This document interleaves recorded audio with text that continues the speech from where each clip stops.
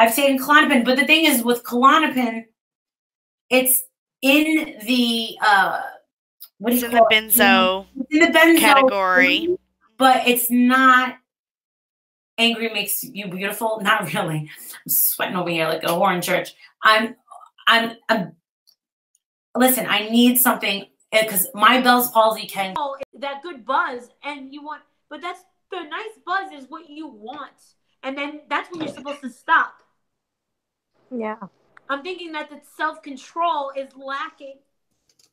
And I went to rehab, but I went for Xanax. But then that's when you're supposed to stop. Yeah. I'm thinking that the self control is lacking. And I went to rehab, but I went for Xanax. But the thing is, is what the point of rehab is, is you're supposed to give up everything. Klonopin, you don't if you take one, you don't feel it. If you take a Xanax, 20 minutes later, you're gonna go like this.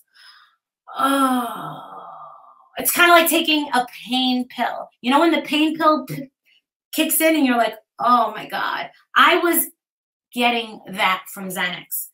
But Klonopin, I don't get shit. I don't get shit. I don't feel shit. I don't even know Do if I it's think I working. have an alcohol problem? Yes. And it just goes from one addiction to another. And I don't think Yep. that I have an alcohol addiction or an alcohol. Do I think I have an alcohol problem? Yes. An addiction?